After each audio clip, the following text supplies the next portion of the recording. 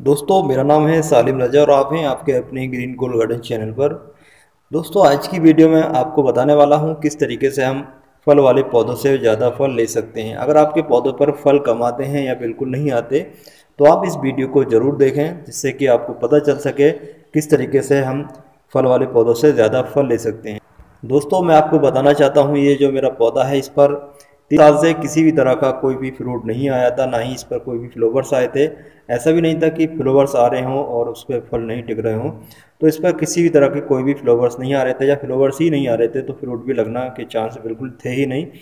तो मैंने जो इसमें फर्टिलाइज़र यूज़ किया, वो मैं वीडियो के आखिर में आपको बताऊँगा कौन सा फर्टिलाइज़र था, जिससे कि इस पर इतनी हैवी जो फ्रूटिंग हो रही है, जैसे कि आप देख पा रहे हैं, बहुत सारे इस पर फ्रूट लगे हुए हैं और अभी जो फ्लोवर्स हैं, उनके बाद में भी हल्के हल्के फ्रूट बनना शुरू हो चुके हैं। तो दोस्तों, मैं आपको सबसे पहले बताना चाहता हूँ कि आपकी जो मिट्टी है, अगर आप उसमें केमिकल फर्टिलाइज़र का यूज़ करते हैं तो केमिकल फर्टिलाइज़र से होता क्या है कि केमिकल फर्टिलाइज़र यूज़ करने से आपके वो चाहे फूल वाला पौधा हो या फिर फल वाला पौधा हो, उस पर फ्रूट या फिर फूल बहुत ज़्यादा हैवी मात्रा में आएँगे। क्योंकि जो केमिकल फर्टिलाइज़र होता है, वो सारा न्यूट्रिएंट्स खींच के आपके पौधे को दे देता है। कम समय में आपके पौधे पर बहुत सारे फल फूल लग जाते हैं। दोस्तों, कम समय में काफ़ी सारे फल फूल लग तो जाते हैं, लेकिन मिट्टी के अंदर काफ़ी माइक्रोन्यूट्रंस की कमी हो जाती है। ऐसा कह सकते हैं कि मिट्टी जो है, बिल्कुल ही बंजर हो जाती है। तो दोस्तों, मैं आपको बताना चाहता हूँ, अगर आप केमिकल फर्टिलाइज़र का यूज़ करते हैं तो ख़ास तौर से फल वाले पौधों में तो बिल्कुल ना करें, क्योंकि उन फलों को हम खाते हैं, और जो कि जब हम फलों को खाते हैं तो ज़ाहिर सी बात है कि उन जो फर्टिलाइज़र है, उनका साइड इफ़ेक्ट हमारी बॉडी पर ज़रूर होगा। तो दोस्तों, अगर आप अपने फूल वाले पौधों में या फिर दूसरे किसी भी तरह के पौधे में केमिकल फर्टिलाइज़र यूज़ करते हैं तो मैं आपको पहले ही बता चुका हूँ कि उसके अंदर, मिट्टी के अंदर काफ़ी माइक्रोन्यूट्रंस कम हो जाते हैं। उसकी भरपाई के लिए आपको ऑर्गेनिक फर्टिलाइज़र यूज़ करना होगा, जिससे कि सॉइल की जो कंडीशन है वो सही हो सके सॉइल जिससे हेल्दी हो सके, क्योंकि केमिकल फर्टिलाइज़र से मिट्टी ऐसा समझे कि मर जाती है। तो दोस्तों, मिट्टी को रिचार्ज करने के लिए काफ़ी सारे ऑर्गेनिक फर्टिलाइज़र होते हैं, जैसे गोबर की खाद तो आप देते हैं वर्मी कंपोस्ट भी आप देते हैं लीप कंपोस्ट भी आप देते हैं। लेकिन जो बहुत ही बेहतरीन फर्टिलाइज़र है, जो कि हमें एक साल में दो तीन बार अपनी मिट्टी में डालते रहना चाहिए, वो होता है मस्टर्ड के मतलब सरसों की खली। दोस्तों, सरसों की खली इतनी ज़्यादा बेनिफिट पहुँचाती है आपकी गार्डन की मिट्टी को, या फिर कोई भी मिट्टी है आपकी जिसमें आप पौधे लगाते हैं या फिर फ़सल उगाते हैं तो उसको रिचार्ज करने के लिए अगर आप एक साल में दो तीन बार अगर आप मस्टर्ड केक का यूज़ करते हैं, सरसों की खली का यूज़ करते हैं तो आपकी जो मिट्टी है वो फिर से रिचार्ज हो सकती है। तो चलिए हम बात कर लेते हैं हमें इससे किस तरीके से यूज़ करना चाहिए। तो दोस्तों, जैसे कि आप देख पा रहे हैं, सामने ये मस्टर्ड केक है, जो कि आपको आसानी से किसी भी जो परचून की दुकान, किराने की दुकान पर आसानी से ये मिल सकता है। अगर आपको यह परचून की दुकान से नहीं मिलता है, अगर आप शहर से रहते हैं तो आप इसको ऑनलाइन भी मंगा सकते हैं। मैंने डिस्क्रिप्शन बॉक्स में लिंक दे दिया है, वहाँ से जाके आप इसको ऑनलाइन भी परचेज कर सकते हैं। दोस्तों, इसके अंदर काफ़ी सारे माइक्रोन्यूट्रंस होते हैं, जो कि हमारे पौधों की हेल्थ को अच्छा रखते हैं। प्रोटीन भी होता है प्रोटेशियम भी होता है। तो दोस्तों, अगर आप इसको यूज़ करना चाहते हैं तो मैं आपको बता दूँ, इसको किस तरीके से यूज़ करना है। एक बात यहाँ पर एक बताना चाहता हूँ, इसके अंदर काफ़ी सारा जो नाइट्रोजन का लेवल होता है, वो काफ़ी सारा होता है, जिससे कि आपके पौधे की ग्रोथ बहुत अच्छे से चलती है। तो दोस्तों, आप इसको ज़्यादा गर्मी है तो उस टाइम यूज़ ना करें। अगर आप इसको ज़्यादा गर्मी में यूज़ करते हैं तो थोड़ा सा इसका जो साइड इफ़ेक्ट है, अगर आप ओवरडोज देते हैं तो अपने आपके पौधों पर दिखाई दे सकता है। तो इसलिए आप इसको सर्दी में ही यूज़ करें। दोस्तों, आप इसको पानी में डाल के भी मिक्स करके अच्छे से घोल के यूज़ कर सकते हैं। और इसको डायरेक्टली आप इसका पाउडर बना के भी आपके आपके पौधे की जो मिट्टी है, उसको गुड़ाई करके आप डाल सकते हैं धीरे धीरे ये रिलीज़ होता रहेगा और आपके पौधों को धीरे धीरे मिलता रहेगा और जो सॉइल की कंडीशन है वो भी सही होती रहेगी।